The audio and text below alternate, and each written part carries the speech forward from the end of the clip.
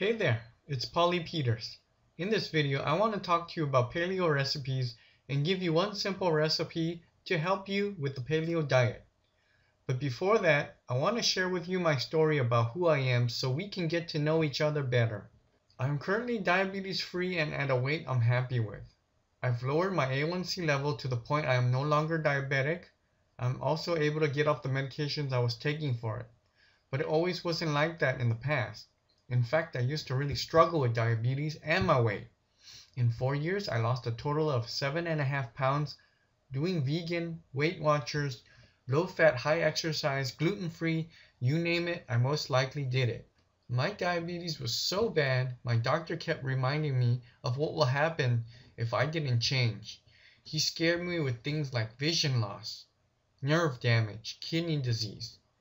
But then I discovered the paleo diet.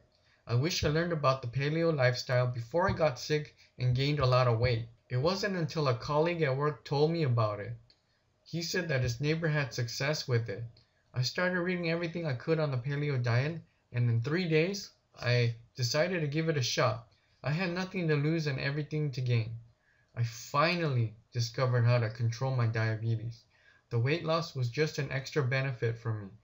I was able to lose the excess weight and keep it off.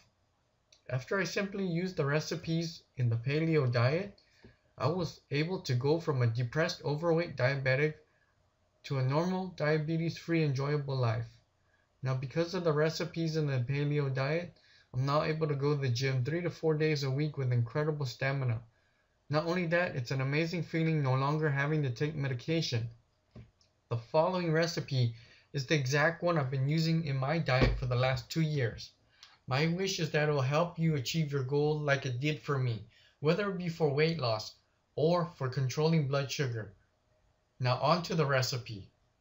Today, it's spicy baked flounder fillet. The ingredients, 2 pounds of flounder fillets, 4 garlic cloves minced, 4 tablespoons of olive oil, 2 teaspoons of dill, 1 teaspoon of turmeric, 2 carrots sliced thin, 2 tomatoes diced, 2 tablespoons of fresh lemon juice, half teaspoon of black pepper. Rinse the flounders and place in a shallow baking dish.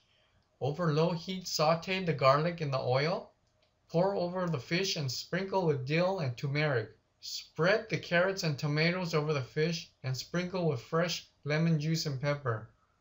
Cover and bake at 325 degrees for 15 to 20 minutes.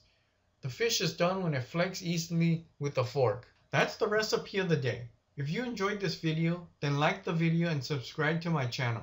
If you'd like to learn more about the paleo diet so you can experience weight loss and improved sugar control, then click the link below the video, take action and go check it out.